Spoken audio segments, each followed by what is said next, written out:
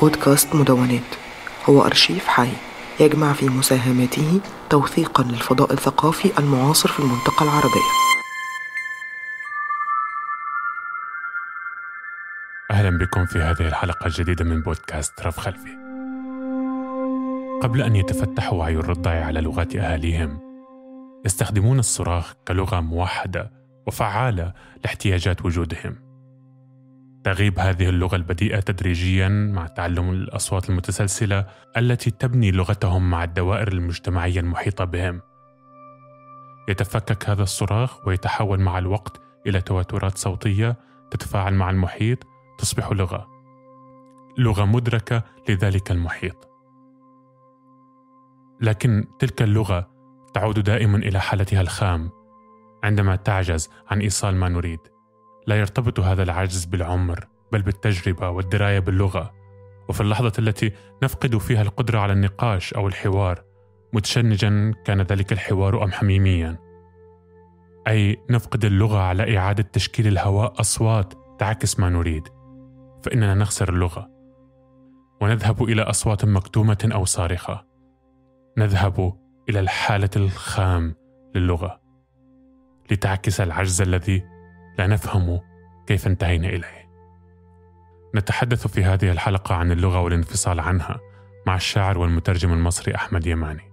ضمن الحديث نقرأ من شعره وديوانه الوداع في مثلث صغير الصادر مؤخرا عن دار ميريت في القاهرة.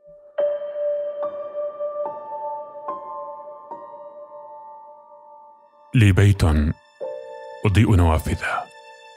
ويمكن للجميع أن يلمح أضواءه من الخارج. رغم ذلك لا تزال تلك الغصة تصاحبني وأنا عائد من العمل وألمح كل النوافذ المضاءة والتي وددت أن أكون داخلها جميعا. أحمد يماني مساء الخير. بداية أبارك لك صدور الديوان.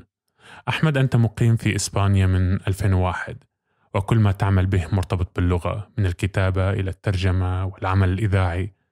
هل انفصالك عن المكان البلد الأم مصر رافقه أي شكل من أشكال الانفصال عن اللغة بمعناها العام؟ والذي دعني هنا أذكر تعريفا للغويين أن اللغة هي ما يتحدثه الناس وليس كما يظن بعضهم ما ينبغي أن يتحدثه الناس. اولا مساء الخير يا أبو حميد وشكرا جزيلا على الدعوة الكريمة آه، وسعيد إني موجود معاك في البرنامج. آه، بالنسبة لموضوع الانفصال عن اللغة يعني أعتقد إن طول الوقت من بداية حياتي في إسبانيا يعني أنا وصلت إسبانيا سنة 2001 يعني تقريبا من 20 سنة. ففكره آه، علاقتي باللغة المحكية أو اللغة المصرية علاقة قوية. يعني لم تنتهي أو لم يعني آه، ظلت طول الوقت يعني ظللت طول الوقت في علاقة قوية مع اللغة لغة الأم يعني اللغة المصرية. أما بالنسبة إلى اللغة الفصحى ففي البداية يعني ربما كنت منتبه أكثر إلى آه، تعلم الإسبانية. ف في هذه الفترة يعني في البدايات آه، الانتباه إلى تعلم اللغة الإسبانية ربما أثر آه، يعني بشكل ما على علاقتي باللغة العربية. ولكن عندما بدأت أترجم من الإسبانية إلى العربية حصل نوع من إعادة اكتشاف علاقتي باللغة العربية لأن أنا كنت أتصور أنني باعتباري يعني دارس للأدب العربي أنا حاصل على من جامعة القاهرة على الليسانس في الأدب العربي. كنت أتصور يعني إن عندي علاقة قوية باللغة. يعني لم تختبر آه، سوى في الكتابة. لكن الترجمة كان اختبار آه، آه، قوي. يعني بمعنى ان إن أنت أمام يعني صيغ لغوية تأتي من مكان آخر من لغة تانية وعليك إنك تجد ليها مقابلات أو طريقة ما للقول في اللغة العربية.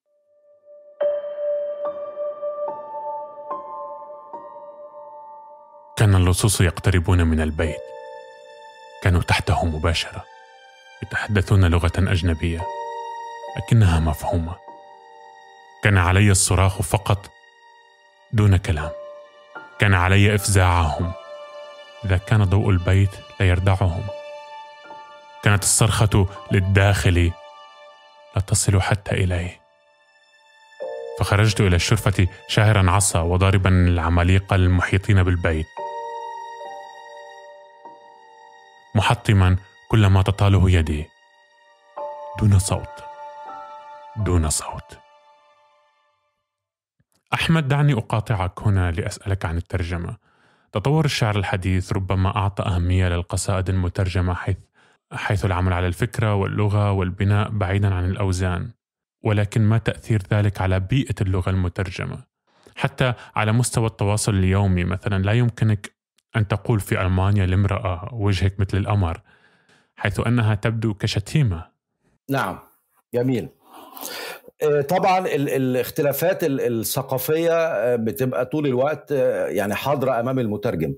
عموما أنا يعني معظم ترجماتي ترجمات شعرية. فهذه الترجمات الشعرية حاولت فيها بقدر الإمكان إن أحافظ على يعني لغة أو إيجاد لغة في في في اللغة العربية يعني مناسبة للغة الكاتب أو الشاعر في الأصل الإسباني. على اعتبار إن عندما تترجم يعني شاعرا كلاسيكيا أو شاعرا من بداية القرن العشرين بالضرورة لديه لغة شعرية مختلفة عن شاعر في الوقت الحالي.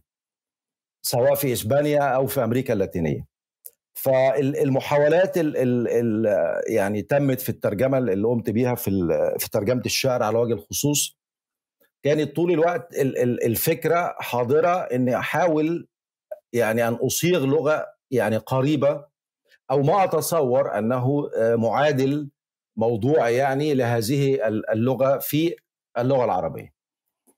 دي نقطة. النقطة الثانية بس كنت عايز أرجع ليها يعني أرجع لفكرة ال ال الانفصال عن اللغة عشان نكمل الموضوع كمان الترجمة يعني. أحكي لك حكاية يعني سريعة وهي أني يعني طبعا يعني أدين بالفضل الكبير للشاعر الكبير الراحل بسام حجار لأنها أول من نشر لي ترجمات في ملحق نوافذ في جريدة المستقبل اللبنانية.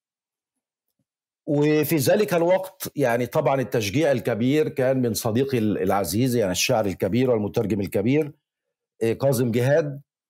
آه، وفي يعني مرة من المرات الأستاذ حسن داوود آه، الروائي الكبير قال لكاظم قال له يا ريت يماني يهتم أكثر باللغة العربية لأنه يبدو أنها يترجم دون اهتمام باللغة العربية بمعنى أنه يترجم صيغ إسبانية آه، قد لا تكون آه، جميلة في اللغة العربية بالمعنى من المعاني يعني.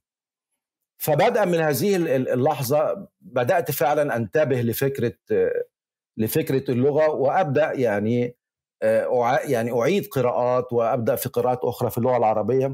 يعني أريد باختصار القول يعني إن الترجمة ساعدتني كثيرا على إحياء أو على تأكيد علاقتي باللغة العربية. آه، في فيما يخص الاختلافات الثقافية أو آه، دي طبعا موجودة طول الوقت يعني ولكن علينا إن إحنا في النهاية آه، نقرب الموضوع. أنا أفضل يعني في كثير من الأحيان إن إحنا يعني يكون عندنا فكرة الصيغة اللغوية اللي في اللغة الثانية تكون حاضرة برضو في اللغة العربية. لأن هذا يعني في النهاية هو إضافة إضافة للغة العربية. بمعنى يعني فكرة التعريب مثلا انك تعرب الجملة أم تترجمها يعني. أنا بفكر طول الوقت في في الترجمة بمعنى إن أريد يعني كذلك ان أن تظهر الصيغ المختلفة أو الطرق المختلفة في في في اللغة الأخرى أن تظهر أيضا في اللغة العربية. ما تأثير الترجمة على لغتك الشعرية؟ كنت ألاحظ مؤخرا الكثير من تعليقات القراء على مواقع التواصل الاجتماعي على الشعر العربي الحديث أنه شعر مترجم وإن كتب بالعربية. من أين تظن أن هذه النظرة تأتي؟ هي يعني أعتقد إنها ضروري إنها تؤثر. يعني زي ما قلت لحضرتك من شوية يعني فكرة آه، إن إن يكون هناك اتساع أيضا في اللغة العربية يكون تكون حاملة للغات أخرى. آه، هذا ضروري. يعني هذا نوع من أنواع التجديد والعلاقة الدائمة مع اللغة يعني. فطبعا دي كمان دي يعني أتصور إنها تهمة موجودة طول الوقت يعني. آه، أفتكر يعني مقولة للأستاذ عباس بيضون الشاعر عباس بيضون اللي اتكلم فيها عن إن الترجمة ترجمة الشعر بالتحديد أضافت لل للشعر العربي الكثير. في لغته في صوره في في طريقة القول في أشياء كثيرة يعني. يعني الشعر المترجم يعتبر جزء من التراث الشعر العربي. وأعتقد إن أي لغة في العالم هي بتعمل كده فعلا. يعني يعني الأبناء المناطق الأبناء المهاجرين مثلا أكيد بيبقى عندهم يعني طريقة معينة في القول طريقة معينة في الكتابة. آه، ده بي يعني يدخل إلى اللغة الأخرى يعني أفاق جديدة. دي حاجة مهمة يعني.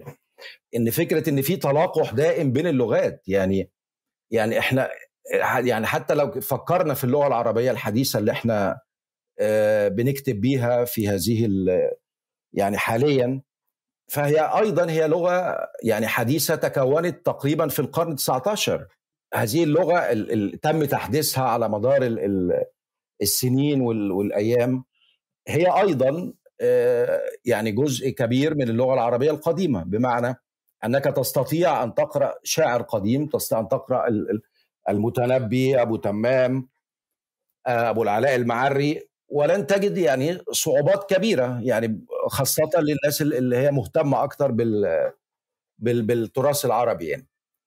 آه، ولكن في النهاية يعني لغة الشعر ولغة النثر ربما كان التحديث الأكبر هو في لغة النثر.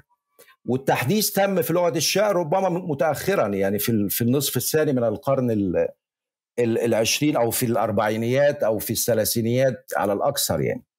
لكن التجديد اللي تم في اللغة العربية أعتقد إنه تم في القرن ال 19 يعني.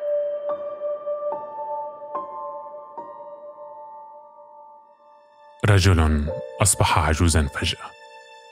لا يعود إلى مسقط رأسه. كلما هم بالعودة تخرج عصافير ملونة من مكان قريب وتحتل الغرفة تغني له وحدها ولا يتمكن سوى من العودة إلى رأسه. أريد العودة إلى ذاكرتك مع تعلم لغة جديدة. عندما أتحدث لغة أجنبية لا أتقنها جيدا مع أي شخص يدور بيني وبينه حوار ما، فدائما ما أتساءل أنا أتحدث بلغة ثانية بطريقة محايدة هدفها إيصال المعلومات، ذلك الآخر لا يسمع صوتي، لا يعرف مفرداتي، مفرداتي الخاصة التي أستخدم، ولا اللحن ولا التلوين في الصوت، في الحديث الذي يعكس هويتي. كيف تنظر إلى الهوية الفردية في اللغة؟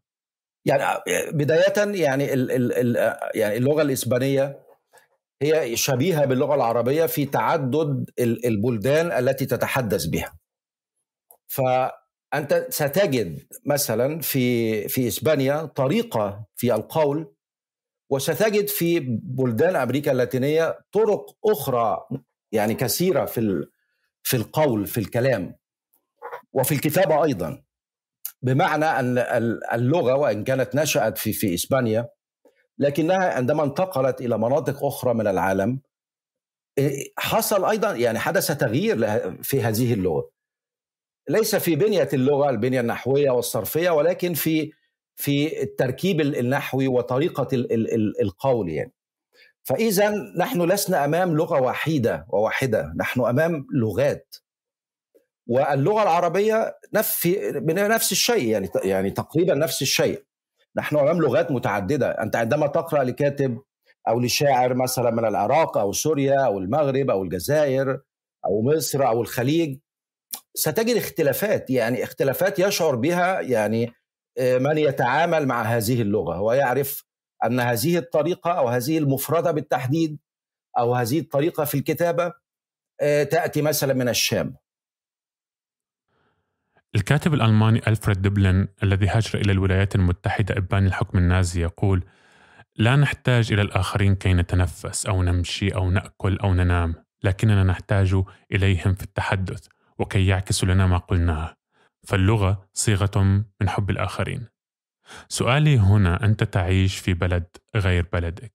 كيف تجد النديم نديم الأحاديث الحميمة التي ينبغي أن تكون باللغة باللغة الخاصة لدوائرك اللغة العامية حتى؟ بعض المفردات التي هي وليدة الذاكرة المشتركة. هل يمكن أن يكون النديم أجنبي حتى؟ أنا مرتاح في اللغة الإسبانية. يعني زي ما أنا مرتاح وأنا بتكلم مصري أو أتكلم بالفصحى مثلا في في العمل في الإذاعة آه، أيضا أرتاح في الحديث باللغة الإسبانية. أنا طبعا في البداية كنت في يعني في وسط آه، يتحدث اللغة البالنسية لغة أهل بالنسيا بسبب يعني آه، زوجات الإسبانية السابقة. ف يعني نشأت في هذا يعني نشأتي في إسبانيا كانت وسط مجتمع يتحدث اللغة البالنسية. وعندما يتحدثون اللغة الإسبانية فهي ليست الإسبانية التي يتحدثها يعني التي يتحدثها الإسبان بشكل عام لغة مخففة يعني. فأنا كان علي أن أتعلم اللغة الإسبانية في وسط يتحدث اللغة الكتالونية يعني. كان يجب علي أن يعني آه، أبدأ هذه الرحلة رحلة الكلام وليس فقط رحلة القراءة والترجمة. يعني رحلة الحياة اليومية إنك لازم تتكلم باللغة الإسبانية يعني. فمن البداية وأنا عندي هذه العلاقة القوية مع اللغة الإسبانية. وطبعا بمرور السنوات أدائك اللغوي بيتحسن معرفتك باللغة بتزيد. ففي النهاية بتكون يعني كلما مرت الأيام بتكون مرتاح أكتر يعني. إن في راحة في الحوار إنك تقدر تعمل آه، حوار في أي موضوع كان يعني سواء آه، موضوع فكري أدبي فني أو آه، ضحك أو هزار أو ما إلى ذلك. انك في النهاية اللغة بتتحول إلى كائن شبيه بلغتك الأم. يعني مش مش بنفس القدرة بالطبيعة يعني بالضرورة يعني لكن بشكل قريب منها.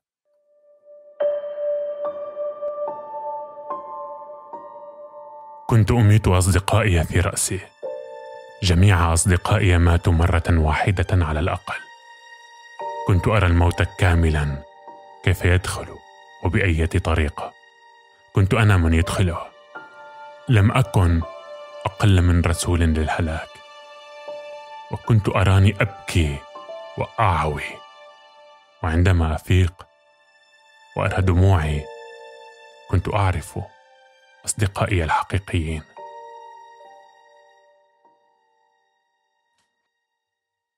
أحمد لغتنا العربية الفصحى هي لهجة كتب لها النجاة لأسباب غير لغوية منها الديني والسياسي والاجتماعي فلماذا هذا التعصب للغة العربية الفصحى مقابل العاميات واللهجات المنتشرة في أوطاننا؟ هو في الحقيقة طبعا يعني لو رجعنا قليلا إلى يعني مئات السنين إلى الوراء سنكتشف إن اللغة اللاتينية كانت زي اللغة العربية حاليا بمعنى هي اللغة الاصل يعني. ومع ومع ذلك يعني الإسبانية أصبحت لغة الإيطالية أصبحت لغة آه، البرتغالية الفرنسية اللغات اللاتينية يعني خرجت من من اللغة الأم وأصبحت لغات لم يعني لم تعد فكرة إن هي فقط لهجات يعني. إضافة إلى ان أنا يعني بتبنى التصور تصور موجود يعني في مصر عند بعض المفكرين وبعض اللغويين إن اللهجة المصرية هي أصلا مش يعني مش لهجة من اللغة العربية وإنما هي لغة لوحدها. والدليل على ذلك يعني إن إن أي لغة يتم ال ال ال الاحتكام يعني الاحتكام إلى اللغة عشان نعرف دي لغة آه ودي لهجة عن طريق ال ال النحو والصرف يعني. آه طبعا في عندنا شعراء كبار في مصر يعني ومش بس شعراء كمان ده يعني لويس عوض مثلا كتب مذكرات طالب بعثة بالعامية المصرية. نعم لا نعم هذا ما لاحظت أنه في مصر هناك حالة منتشرة أكثر من البلدان العربية الأخرى وهي نشر الكتب والروايات بالعامية المصرية، كيف تنظر إلى ذلك؟ طبعا يعني قنطرة الذي كفر لمصطفى مشرفة كان طبعا بالعامية المصرية أيضا. إضافة لحاجات كتير ربما لا أذكرها الآن لكن فكرة حضور عشان كده كنت بقول لحضرتك إن إن أنا مع مع هذا التصور إن ال ال إن اللغة المصريه هي لغة قائمة بحد ذاتها ربما فيها مفردات كثير كثيرة من اللغة العربية لكن ليس بها النحو والصرف العربي. وده يعني يؤكد يعني ما يؤكد هذا الكلام أن اللغة الإسبانية مثلا هي لغة لاتينية لكنها لغة تمتلئ بالمفردات العربية وهذا لم يضعها في أي وقت من الأوقات في الإطار اللغات السامية. كذلك اللغة الفارسية يعني تمتلئ بالمفردات العربية بشكل كبير جدا لكنها في النهاية هي لغة هند اوروبيه يعني ما يحدد اللغة ليس المفردة ولكن التركيب النحوي. فاذا على هذا الأساس بتصور إن كان في وعي ما يعني ربما بشكل واعي أيضا إن لهذه اللغة المصرية يمكن الكتابة بها. وطبعا عندنا نتائج مذهلة يعني في الشعر يعني فؤاد حداد صلاح جاهين برم التونسي الأبنودي أحمد فؤاد نجم سيد حجاب والأجيال بقى الكتيرة اللي جت بعد كده يعني. أحلم دائما بالعودة أنني في بلد ولا بد أن أرجع إلى بلد ثان. لكن احداثا غامضة تحدث في السماء دوما كأن يكون هنالك دخان يطير وحده أو نباتات غريبة معلقة من جذورها أو شيء يجعل الباب نافذه لا تفتح ولا تغلق. وأنا في النهايه لا أعود ابدا. استخدام الأهل وكبار العمر بشكل يومي للتواصل الكتابي والإنترنت دفع المنقطعين منهم عن الكتابة إلى إعادة استخدامها كيف توازي اللغة هذا التطور؟ ففي الوقت الذي نملك فيه قرابة 20 اسم للمطر حيث يفسر موسيقى نطق كل اسم ذلك النوع من المطر أو وخصوصيته في هذا الوقت لا نجد أسماء عربية ل 90% من أدوات المطبخ أو حتى الملابس أو الع... أو حتى الحاجات اليومية والتكنولوجيا. مش بس كده كمان ده يعني مثلا طبعا المترجمين يعرفوا الموضوع دوت إن إحنا عندنا كمان مشاكل في أسماء الطيور أسماء النباتات الأسماك. واخد بال حضرتك؟ يعني عندنا مشاكل كتير في اللغة العربية. تخص الحياة الحديثة يعني. وأعتقد يعني ما أعرفش ربما من الضروري إن ده عمل يقوم به أيضا تقوم به المجامع اللغوية. وفي في الموضوع المجامع اللغوية ده بالنسبة لي كمان يعني أحب أقول نقطة يعني بتصور إن إن لابد أن يكون هناك مجمع واحد فقط وليس مجامع. يعني اللغة الإسبانية لديها يعني الأكاديمية الملكية الإسبانية للغة هي التي يعني تتبنى الصيغ الجديدة وتجيزها وما إلى ذلك يعني هناك كيان واحد هو الذي يدير العملية اللغوية لكن ال... إحنا عندنا عدة مجامع لغوية وربما ده كمان يعني بي... بيأثر على على فكرة ان إن يبقى في نوع من. ال... ال... ال... السلاسة اللغوية بين البلدان وبعضها يعني أذكر أيضا فشل الوصول إلى اتفاق على استحداث حرف جديد للجي لتمكين الكتابة العربية على الاقل على الأقل للمواكبة كتابيا. يعني بمناسبة حرف اللي بيسموه الجيم المصرية يعني الجيم غير المعطشة. يعني إحنا طبعا في مصر بنكتبها عادي يعني بالجيم العادية. لكن مثلا آه لما يكون في نشر في في مكان في في الشام أو أو ما إلى ذلك هتلاقي إن يعني يتم تحويل الجيم إلى غين إلى حرف الغين وفي العراق آه تستخدم الجاف الفارسية الكاف وعليها شرطة. وأفتكر في شمال أفريقيا الجيم بتبقى قاف. فإحنا حتى ما عندناش يعني توافق على حرف. يعني في ده حرف واحد يعني. ما عندناش توافق عليه نعمله بأي طريقة يعني. في في مشكلة لغوية في الأساس يعني.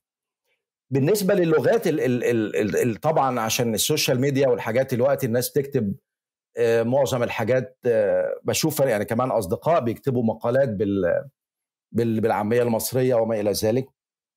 أعتقد ده حاجة جيدة بالنسبة لي.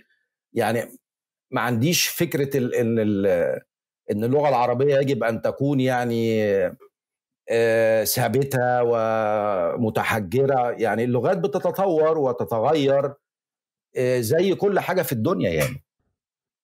الحكم على منتج أي كاتب أو محاور أو مشتغل بالثقافة من خلال أخطائه النحوية أو أو لغته الفصحى. وتدمير ذلك النتاج فقط بالنظر إلى هذه الأخطاء. هذا يقودنا إلى عملية التحرير ما بين الوطن العربي وخارجه. ففي حين يقتصر التحرير في الكتب العربية في كثير من الأحيان فقط على التدقيق النحوي يكون التحرير في الخارج عمل موازي للكتابة وهناك محاورة مع الكاتب وإعادة تكوين فقرات وجمل وعمل دؤوب لإخراج النص بأفضل صورة بعيدا عن حساسية الكاتب تجاه نصه. يعني بعتقد يعني إن فكرة آه، التحرير هي فكرة ضرورية لأن إحنا بنعمل كده أصلا آه، مع أصدقائنا. يعني يعني أعتقد إن قبل ما بننشر أي كتاب يعني بتبعته المجموعة يعني آه، بتثق في رأيها علشان تعرف يعني ال ال ال الكلام ماشي كويس أو إيه الموضوع. ففي اللحظات ديت بيحصل نوع من التحرير يعني مش فقط ال ال لو في خطأ لغوي لكن كمان آه، في الصياغات في في الطريقة ممكن تحذف نص أصلا. فأقصد إن فكرة التحرير هي فكرة موجودة طول الوقت وبتتم يعني. لكن ربما الناس بتتحرج إن إن شخص غريب عنها يعني آه، هو الذي يقوم بهذه العملية. يعني إذا كان هناك محرر للدار يعني ويقوم بهذه العملية فالكاتب ربما يعني نوع من آه، مش عايز أقول استعلاء ولكن نوع يعني إن هذا ما كتبته يعني وما آه، ما ينفعش يتحرر يعني. أعتقد دي فكرة مش جيدة يعني ربما يعني يجب أن نكون أكثر تسامحا تجاه التحرير لأن زي ما قلت لحضرتك ده بيحصل طول الوقت بأشكال تانية ولكن مش بشكل رسمي يعني. شكرا لك أحمد شكرا لها شكرا لك أحمد على هذا الحديث الجميل شكرا لك. نهاية يقول الكاتب والباحث طاهر لبيب أن الكثيرين يزعجون احتضار اللغة بضجيج التمجيد والاحتفاء. ونستذكر هنا مطالبات طه حسين بتيسير اللغة عام 1956 في مجمع اللغة العربية في دمشق حيث قال هناك إذا لم تفعلوا فدعوا اللغة العربية تموت. إلى اللقاء.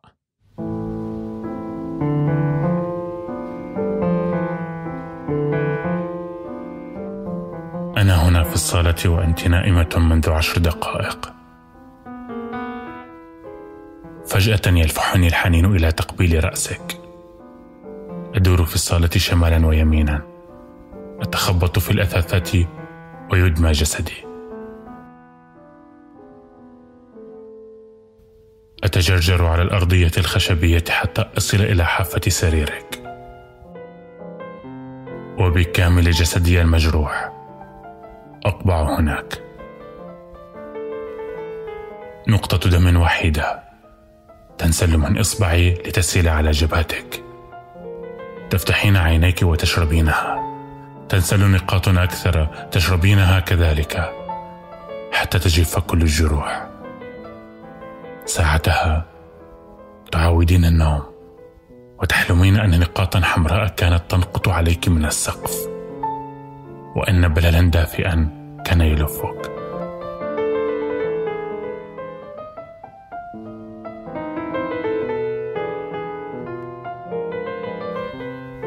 الصباح. تتحسسين العرق فوق جسدي النائم. وتحبينني أكثر.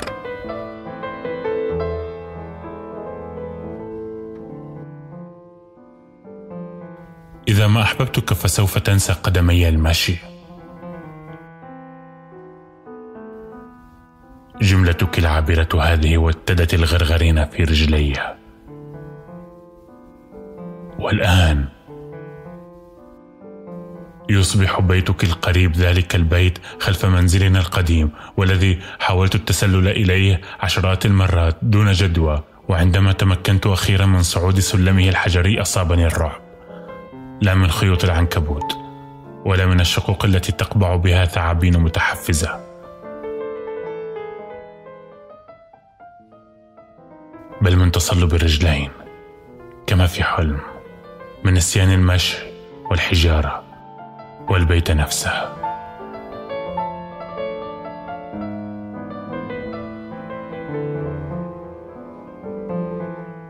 شعراتك الساكنه في السرير في الحمام على ملابسي. فجأة ودون انتظار لملاقاتها أجدها هناك تلمع في وجهي. منذ قليل كانت تنتمي إليك. كانت تشكل جزءا صغيرا من كينونتك. والآن تنتمي إليها. لأنها تلمع في وجهي. تسبح هائمة وحدها في البيت. أدور خلفها أسحبها من مداراتها. أمعن فيها للحظات وأطلقها ثانية في الهواء. لن تعود مرة أخرى إلى جسدك. لكنها كذلك لن تغادر بيتي.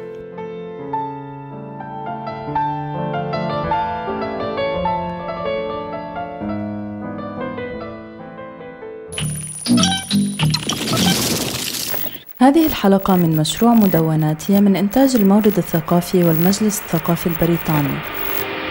محتوى هذا البودكاست لا يعبر بالضرورة عن رؤية أو أفكار أي من المؤسستين.